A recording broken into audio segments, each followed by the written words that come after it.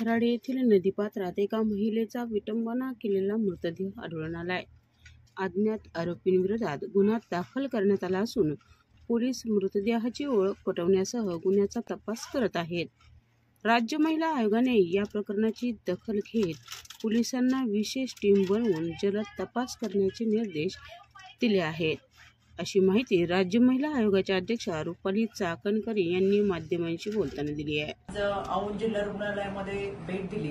ज्यामध्ये दिघी पोलीस स्टेशनच्या अंतर्गत येणारे एक घटना ज्यामध्ये सहा वर्षाच्या अल्पवयीन मुलीवरती लैंगिक अत्याचार आणि खडकवासला मतदारसंघातल्या एका दहा वर्षाच्या मुलीवरचा लैंगिक अत्याचार या दोन्ही पीडित मुली या ठिकाणी उपचारासाठी दाखल झालेल्या आहेत. त्यांच्याशी संवाद साधला. आमच्या जिमोबा आणि बालकल्याण समितीच्या माध्यमातून त्यांचं काउन्सिलिंग चालू आहे. त्यांची तब्येत चांगली आहे. यामध्ये रिपोर्ट सादर करण्यात आलेले आहे. या दोन्ही घटनेतल्या आरोपींना अटक करण्यात आलेली आहे.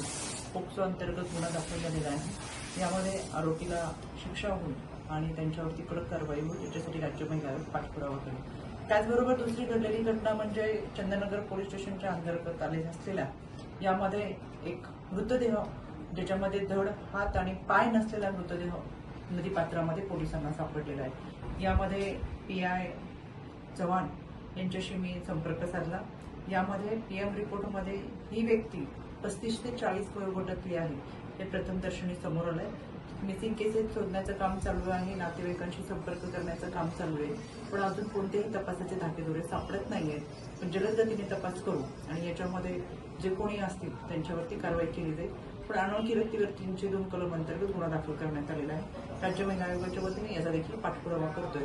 एकंदरीत जर वाढत असलेल्या घटना आणि या घटनेचा तपास करत असताना खऱ्या अर्थानं समाजामध्ये जनजागृती वाढवण्याचं काम सुरू आहे.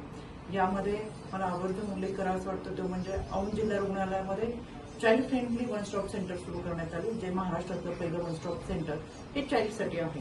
आपल्या माध्यमातून मला विनंती करायची अशा कोणत्याही घटना आपल्या आजूबाजूला घडत असतील त्या अल्पवयीन मुलींच्या संदर्भातील असेल विद्यार्थ्यांच्या संदर्भात असेल आणि त्याची तक्रार आपल्याला नोंद करायची असेल पुढची शासकीय माहिती हवी असेल कायद्याच्या चौकटीतून वैद्यकीय माहिती हवी असेल कायदेशीर बाबींची पूर्तता करायची असेल तर आपण जरूर या वन स्टॉप सेंटरशी संपर्क साधा.